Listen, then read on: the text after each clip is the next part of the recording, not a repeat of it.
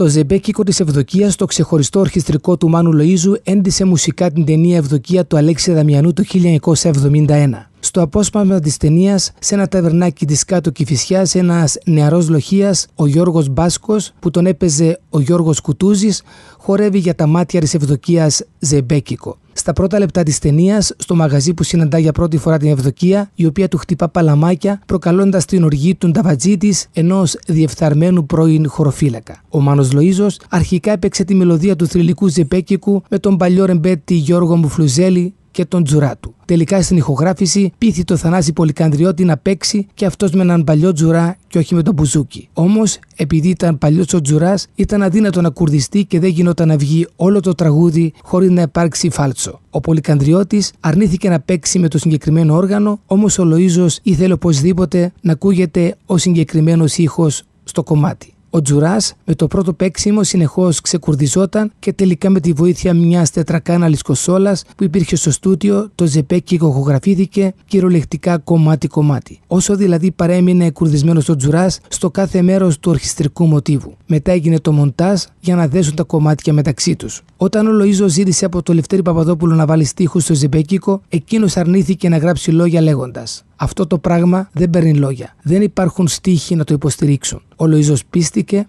και το Ζεμπέκικο έμεινε χωρίς λόγια, αλλά με μια μουσική που δεν θα ξεχάσει ποτέ κανείς. Στα χρόνια της μεταπολίτευσης, το συγκεκριμένο κομμάτι αναδείχθηκε ως το πιο διάσημο ίσως ζεμπέκικο στην Ελλάδα και ανάμεσα σε αυτούς που το χόρευαν ήταν και ο Έλληνας Πρωθυπουργός Ανδρέας Παπανδρέου.